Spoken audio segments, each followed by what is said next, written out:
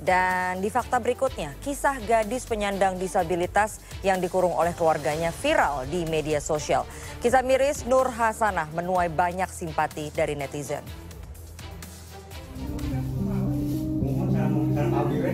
Perkenalkan, Nur Hasanah alias Nur.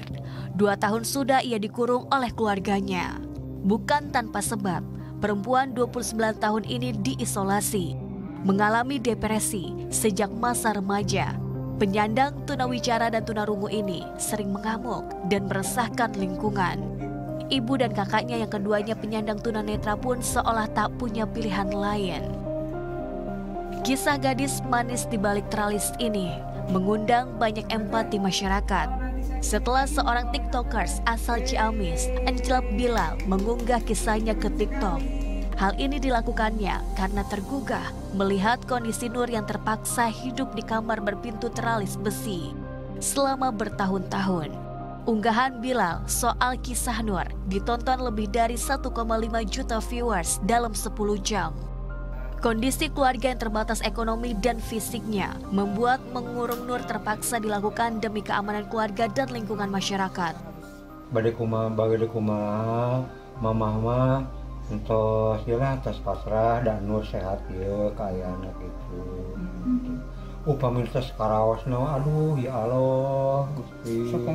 Mohon ngamukna itu jangan raksak gitu kadang-kadang kan galak. Hmm. sedangkan akan sarang emak kan oh, sedangkan abdi kan ningali gitu ya.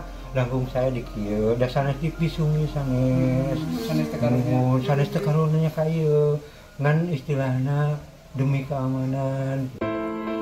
Prihatin dengan kondisi Nur Hasanah, konten kreator asal Ciamis, Indra alias Encep Bilar bersama timnya berniat membantu Nur Hasanah agar mendapatkan penanganan kejiwaan yang tepat dari ahlinya. Menurut keluarga, depresi yang dialami Nur karena diduga mengalami perundungan atau bullying karena sulit berkomunikasi dengan teman sebayanya kita merasa prihatin dan merasa bertanggung jawab sebagaimana kita yang Allah beri kemampuan untuk bisa membantu. Jadi jangan melihat dari dengan kejiwaannya saja itu adalah tugas kita bersama. Jangan istilah katanya kita malah menjauhi, membiarkan. Justru ini tanggung jawab semua pihak. Selain membuat konten bertema sosial, Bilal pun memberikan bantuan untuk kebutuhan hidup nenek dia bersama Nur Hasanah dan kakaknya. Konten kreator yang sering mengangkut isu sosial ini berharap kisah Nur bisa peroleh perhatian serius dari semua pihak terkait. Yopi Andreas melaporkan untuk NET.